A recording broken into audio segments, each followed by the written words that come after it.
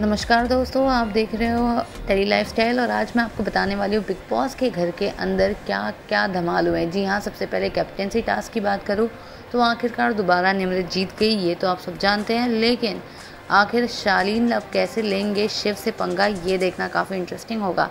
वहीं दूसरी तरफ़, जैसे कि हम सबको पता है बिग बॉस ने गोरी नागोरी को एक टास्क दिया था, जहाँ पर वो खुद को नॉमिनेशन से सेव कर सकती थी। लेकिन उसके लिए उन्हें अपना डांस कर कर जो है बाकी नॉमिनेटेड कंटेस्टेंट्स के साथ नाच कर उनकी कंफर्मेशन लेके उनकी अप्रूवल से खुद को सेव करना था।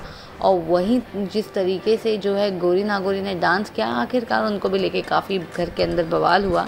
गौतम चाहते थे कि वो सेफ़ हो जाए, वो घर वालों को कह रहे थे कि नहीं, वो गौतम को सेव करें, ना कि गोरी नागोरी को।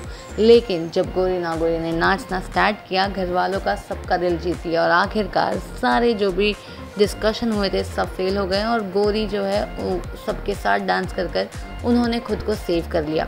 सो so, अब तो गोरी हो गई हैं। इस हफ़्ते एलिमिनेशन से सेव लेकिन जो नॉमिनेटेड कंटेस्टेंट है वो हम सब जानते हैं शिव शिव के साथ M C Stan M C Stan के अलावा Sajid Khan Archana Gautam and last but not the least जैसे कि हम सबने देखा कि कौन कौन है घर के अब अगले पाँच कंटेस्टेंट्स जो होंगे नॉमिनेट वेल मुझे बताइए, आपको क्या कहना है इसके बारे में? नीचे कमेंट करके कि क्या लगता है इस हफ़्ते घर कौन जाएगा?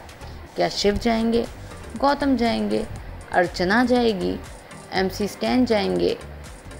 कौन लगता है आपको होगा इस हफ़्ते घर से बेघर? मुझे नीचे कमेंट में बताइए।